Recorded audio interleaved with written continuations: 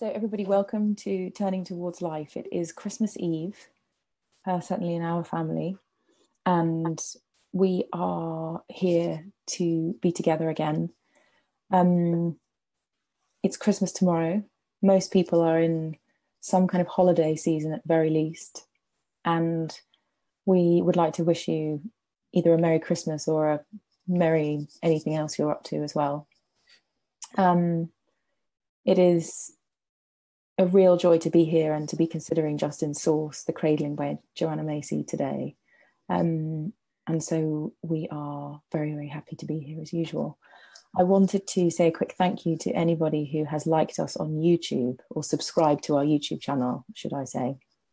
We're now on 69 subscribes and we have to get to 100 to get our unique URL. So thank you so much those 69 people who clicked the, the red subscribe button on YouTube.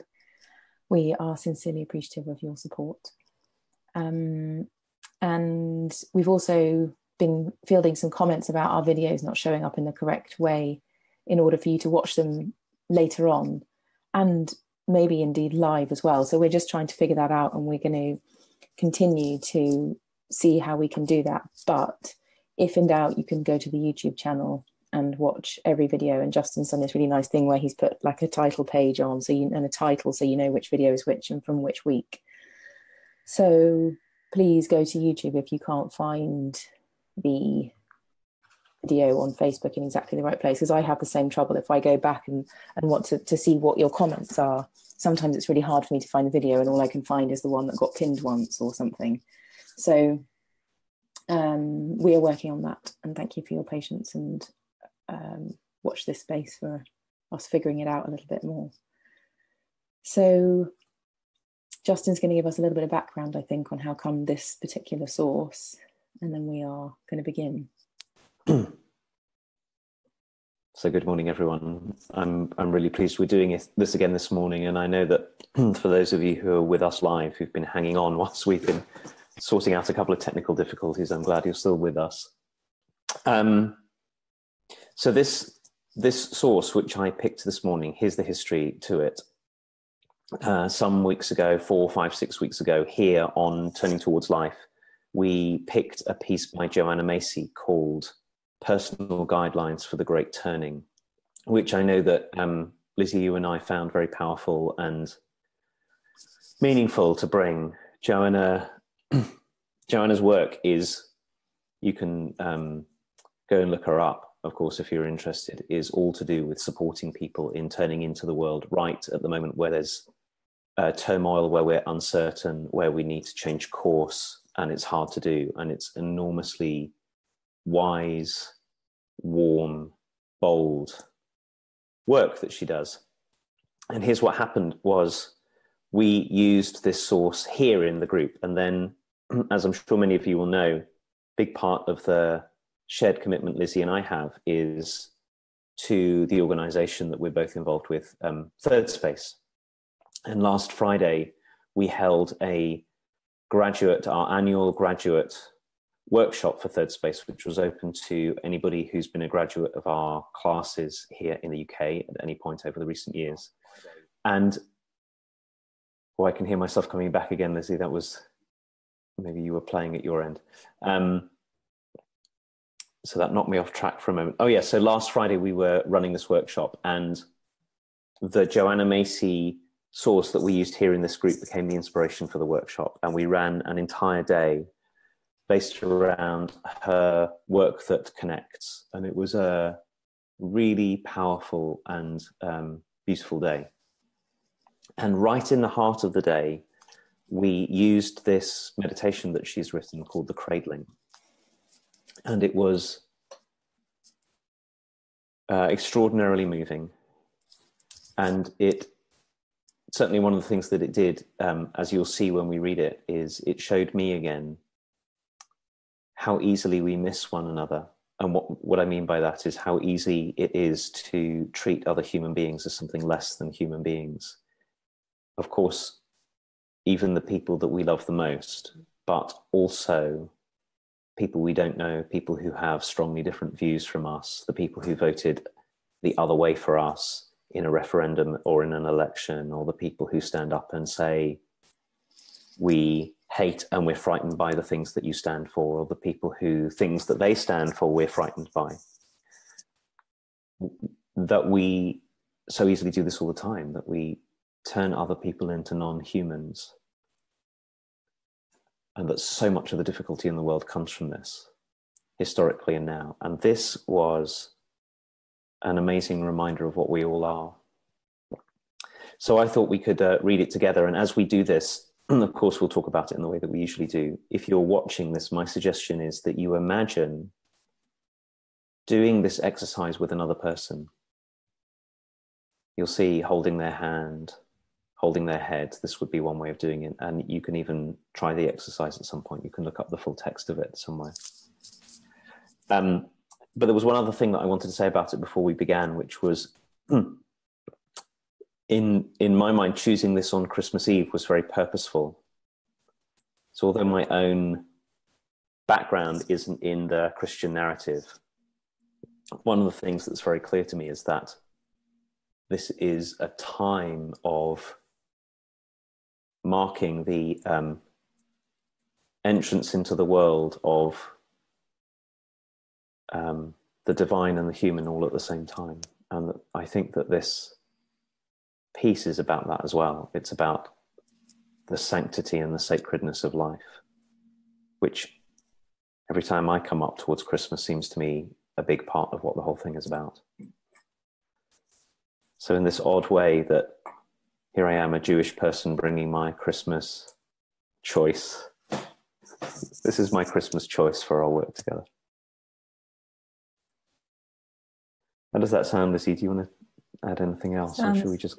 Sounds totally beautiful, and I think you know, for lots of people at this time of year, there's so much stuff that goes on with family, and also so many ways to lose sight of this with one another. You know, all it takes is you know one meal or cooking something or people being late. You know, there's so many opportunities for kerfuffles and this feels like a return home to sanity in amongst what can be quite insane around this time of year. So we're going to read the first part of this and then we're going to stop to talk about it. So Lizzie, will you start? Yeah. Is that what we agree? It doesn't matter. No, we're doing we the other way around. I'm going to start. Okay. Here we go. so imagine um, imagine as you hear us read this or as you follow along that you're sitting with another human being. It could be somebody you know and love. It could be somebody in your own family or community or circle of friends who you love and or who you're in some difficulty with. Or it could be someone who you barely know, and the reason you barely know is because you imagine there's some vast difference between your worlds. Maybe there is a vast difference between your worlds. Pick a politician whose views you strongly disagree with, or you know, who knows. So you could choose anybody. Here we go. This is what Joanna Macy wrote for this exercise. Lift gently your partner's arm and hand. Cradle it. Feel the weight of it. Flex the elbow and wrist. Notice how the joints are hinged to permit variety of movement. Behold this arm as if you had never seen it before, as if you were a visitor from another world. Observe the articulation of bone and muscle, turning the palm and fingers. Note the intricacy of structure.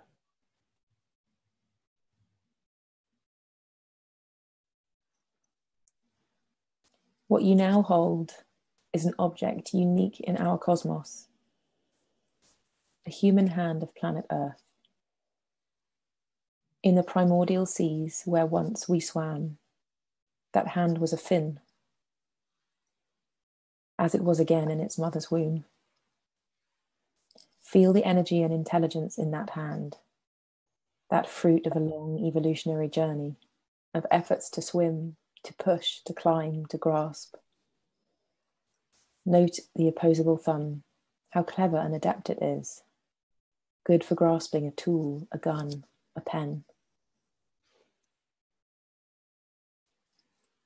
Open your awareness to the journey it has made in this present lifetime. How it opened like a flower when it emerged from the mother's womb. How it reached to explore and to do. This hand learned to hold a spoon, to throw a ball, to write its name, to wipe tears, to give pleasure. There is nothing like it in all the universe. Lift now your partner's other hand and arm. Observe the subtle differences from its twin. This hand is unique, different from all other hands. Turning it in yours, feel the life in it. And note also its vulnerability. No shell encases it, but those fingertips, that palm, are instruments for sensing and knowing our world, as well as for doing. Flexible, fragile hand, so easy to break or burn. Be aware of how much you want it to stay whole, intact, in the time that is coming. It has tasks to do that your partner can't even guess at. Reaching out to people in confusion and distress, helping, comforting, showing the way. This hand may be the one that holds you in the moments of your own dying give you water or a last touch of reassurance. The world of sanity and decency that lies ahead will be built by hands like this one.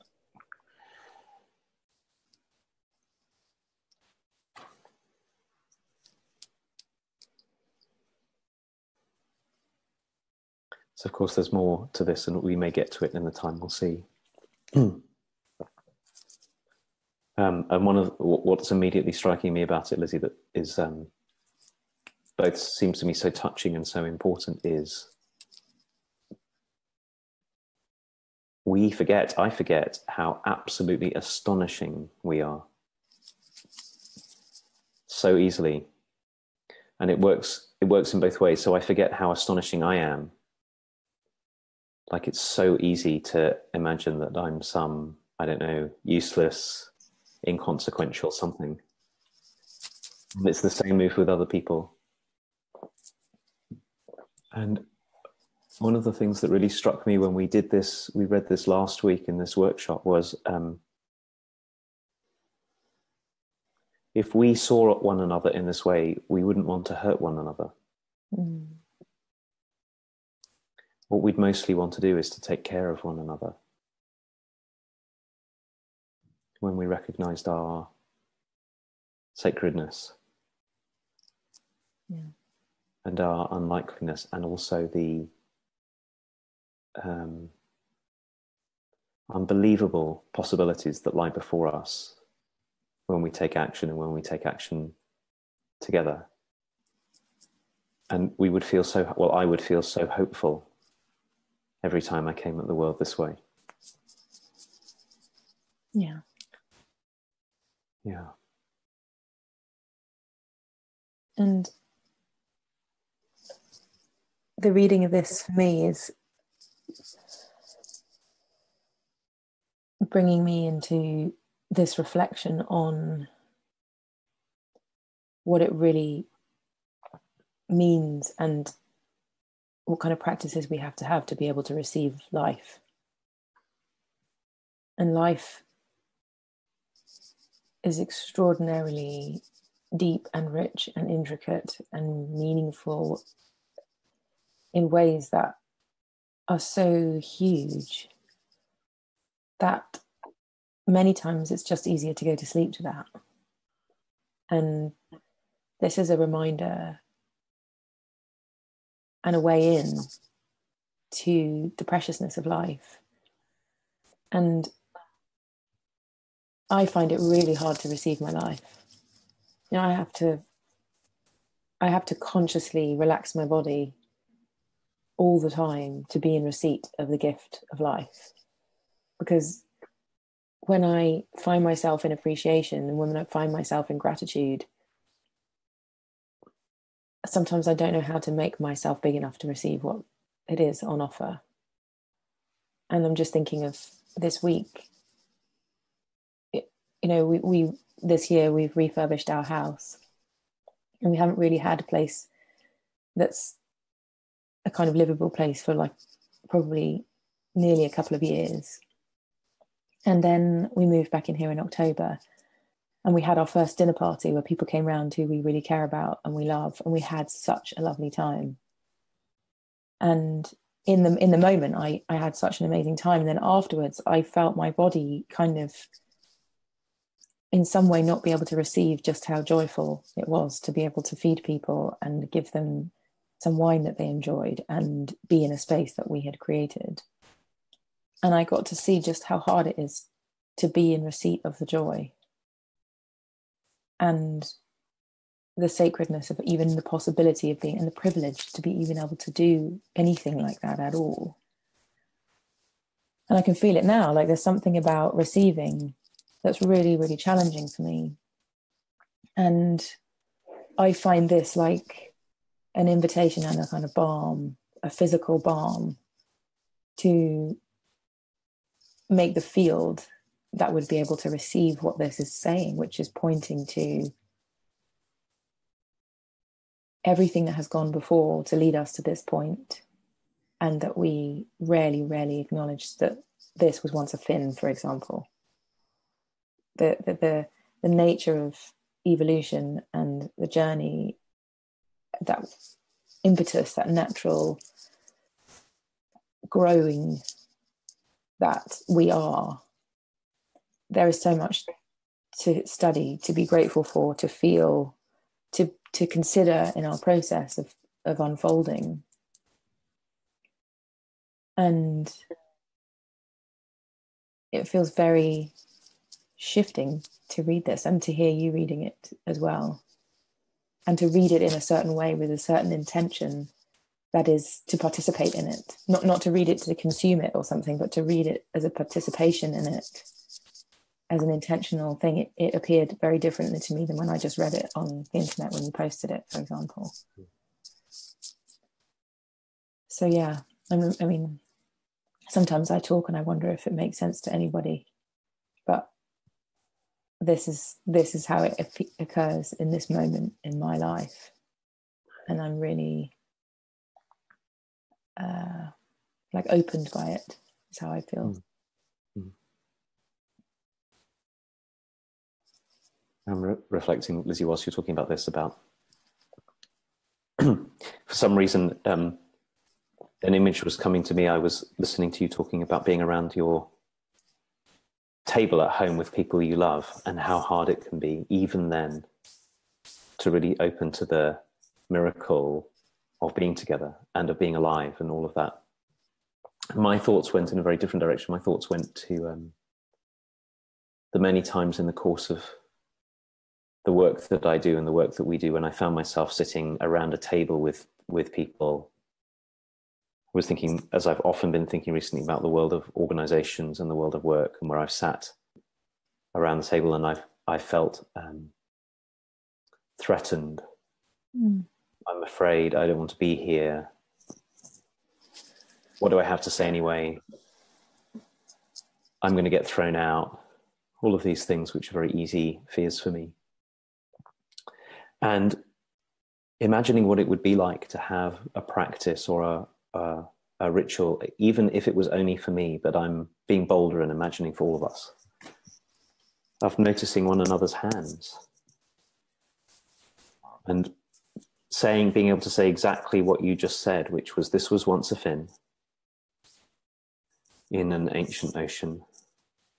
And it was also, as um, Joanna Macy so beautifully says, it was also once a fin in the womb of the mother of whoever gave birth to this person. Mm-hmm. And then we're in different kind of relationship with one another, even if we have a difficult conversation to have or we're in disagreement. Mm. We've re-established some deep common ancestry, and we've also re-established a deep kind of um, sanctity between us. Mm and how absent our culture is of rituals that would help us to do that. For most of us, most of us don't have practices and rituals that help us remember, oh my goodness, I'm this. And so is everyone else. And look what that means. It's, it's absent. We, we, um, we throw ourselves in from one thing to another. Mm. You know, we do this in our families and we do this with our friends too. We do this with people down the street. We do this when we watch TV and we see people see what's going on in the world. And it feels very, you know, very sort of um, touching for me to think at this time of year, when, when in fact, for so many of us, we've also lost that sense that this might be a time of year where that's the move to make, is to turn towards the, even with the people with whom we have the most difficulty, our shared aliveness, our shared humanity, and the deep mystery and unlikeliness of us being here at all. But instead, what we so easily do is we throw ourselves into consumption and we throw ourselves into mm. impressing people and all of those kind of things. Yeah. So I'm, I'm imagining a world and a life in which we um, purposefully take up practices that have us remember this. Mm-hmm in my more radical imagining, I imagine us all doing this together right at the moment when we want to be the most businesslike or the most, you know, mm. go into a shop and are about to buy something and um, we're going to pay the cashier to be able to see the person who's sitting behind the till this way or the person who pushed in front of us in the queue. Mm anyway, I suppose I'm not talking about this theoretically. I'm talking about how, how often I forget this yeah. and how grateful I am for the feel of this being in this conversation that, that reminds me. Mm. Yeah. Should we read a bit more? Yeah. I'm going to jump ahead a little bit. I'm mindful of the time. Mm. Yeah, I thought we should um, Oh no, we did actually get to where I thought we were going to go. That's fine. Here we go. So this is for this part. You have to imagine one way you can do this is um, you're kneeling down behind another person's head. So if you imagine the other person lying on the ground, on their back, and you are cradling their head, the back of their skull, this way. Now hold your partner's head cradling it with reverence, for what you now hold in your two hands is the most complex object in the known universe. A human head of planet Earth, a hundred billion neurons firing in there, vast potential for intelligence. Only a portion has been tapped of its capacity to perceive, to know, to vision. your hands holding your partner's head. That is the first touch your partner knew in this life, coming out of the womb into hands like yours of a doctor or midwife. Now within that skull is a whole world of experience, of memories, of scenes and songs, beloved faces. Some are gone now, but they still live in the mansions of that mind. It is a world of experience that is totally unique and that can never be fully shared. In that head, too, are dreams of what could be, visions that could shape our world. Closing your eyes for a moment, feel the weight of that head in your hands. It could be the head of a Chinese worker or a Nicaraguan mother, of an American general or an African doctor. Same size, same weight, just about, same vulnerability, same capacity for dreams that could guide us through this time. Looking down at this head, think of what this person may have to behold in the times that are coming, the choices to be made, the courage and endurance needed. Let your hands of their own intelligence express their desire that all be well with that head. Perhaps there is something that you want your partner to keep in mind something you want them not to forget in times of stress or anguish. If there is, you can quietly tell them now as you lay their head back down.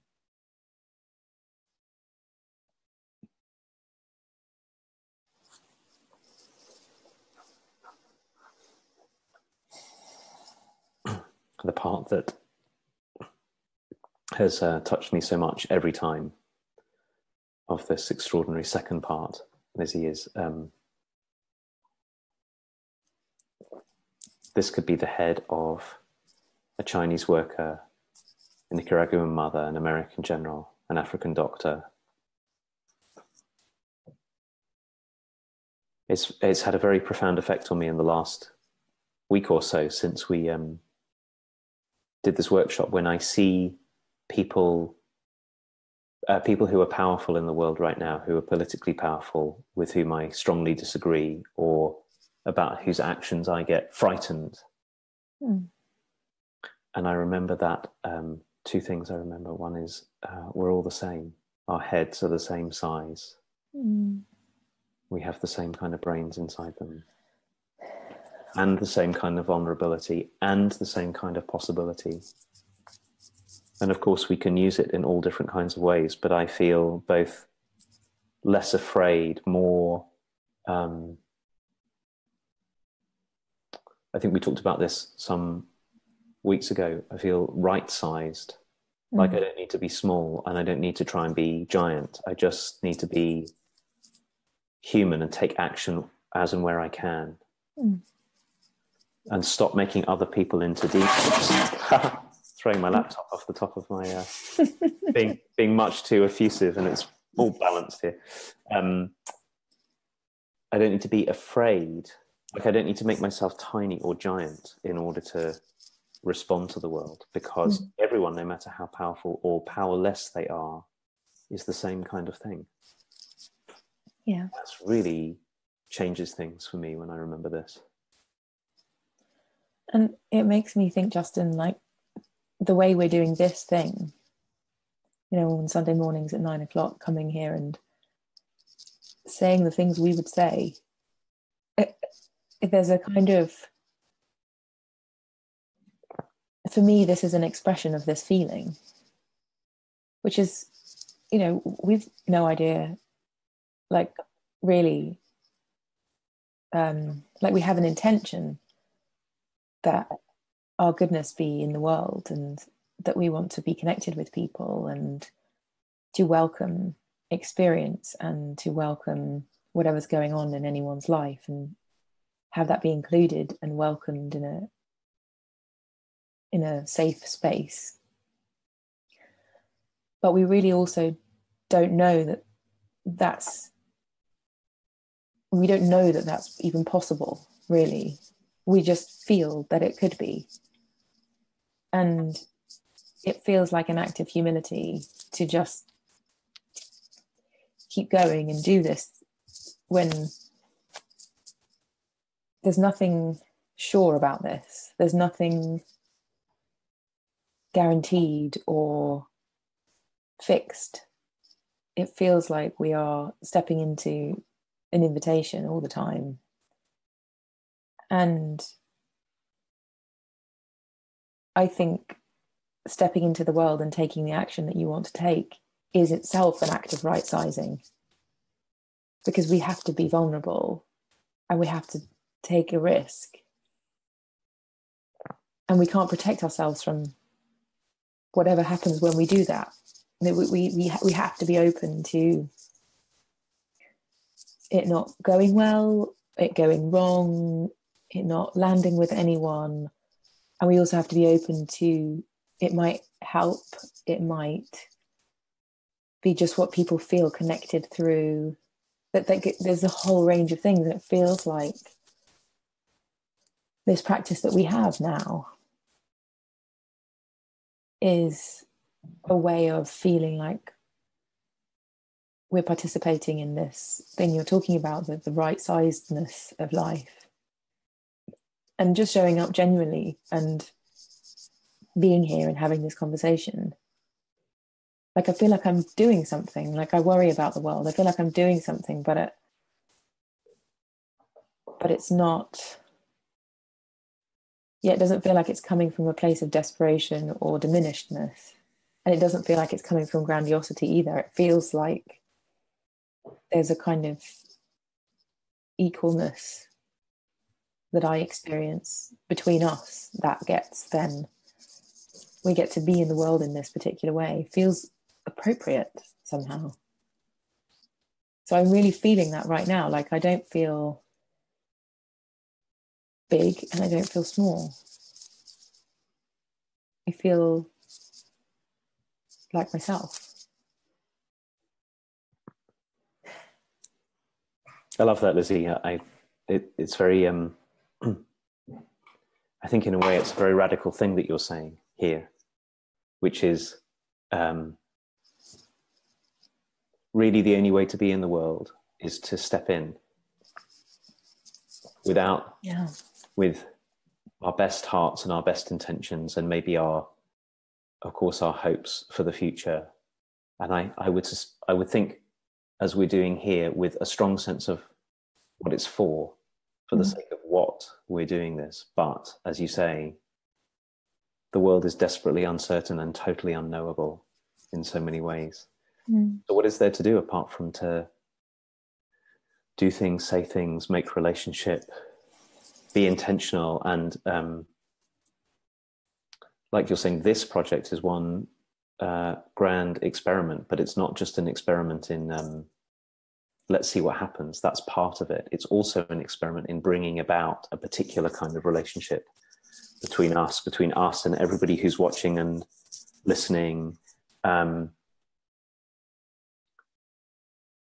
and and knowing that something will come from it.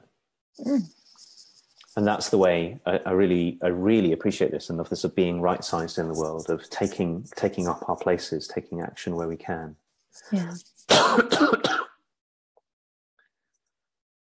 So it's been quite something to begin this this year. Mm. And also, can I just say, I feel like stepping into the world is no small matter because there's so much that can get in the way. But that all anything is ever made of is a trillion million tiny little things. And so people just got to be who they are if they're in any kind of way because they did things lots of times again and again, or they did a series of lots of different things. But it's this right sizing thing also, in my mind, invites us to take the step that's in front of us right now and to not worry about what the next ones after that are, but just keep doing the one that's here. Keep doing the one that can be done in this moment, in this week, in this day. And then you add all of those up over a lifetime and you'll have something. And the intentionality in each of those steps then has the picture be painted. Yes. It's like we don't have to paint the picture all at once or put pressure on ourselves that it should be done by now or something. Yeah. just each each thing is okay. I'm really with you. I, I have this um, closing thought, I think we must be yeah about the time to close. My, my closing thought is that um, certainly what I'm experiencing is, is that as I see myself and other human beings, and I would extend this to other living things, but this um, piece we've been reading is about human beings. When I see myself and other people this way, the step that's right in front of me at every moment is can I be in relationship to myself and to you, Lizzie, and to whoever else I meet. Um, with that in mind, and then can I bring myself lovingly and truthfully,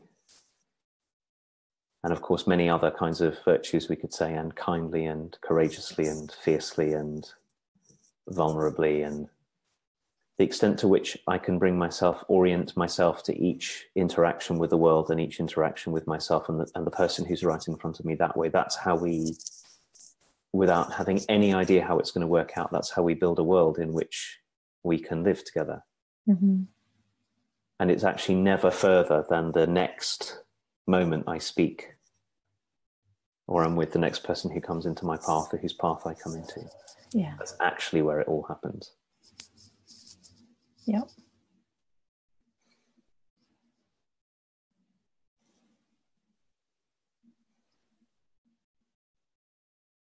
Do you want to say anything else?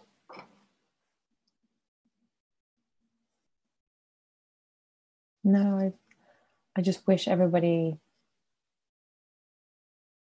a very wonderful and also self forgiving time. I, I think this is not an easy time of year for, for many, many people. And although there's this illusion that everyone's in their houses clonking glasses and having a lovely time, I'm sure that happens, but it also is in many places not happening that way.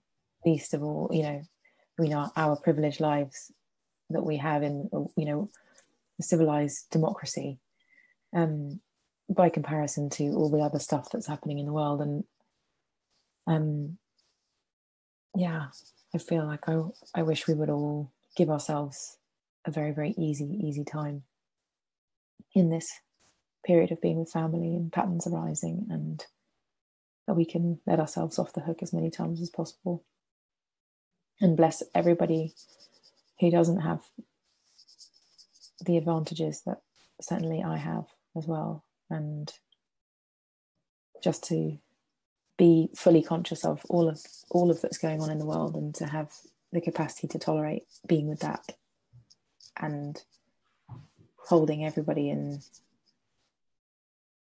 some kind of truth that's beyond their circumstances.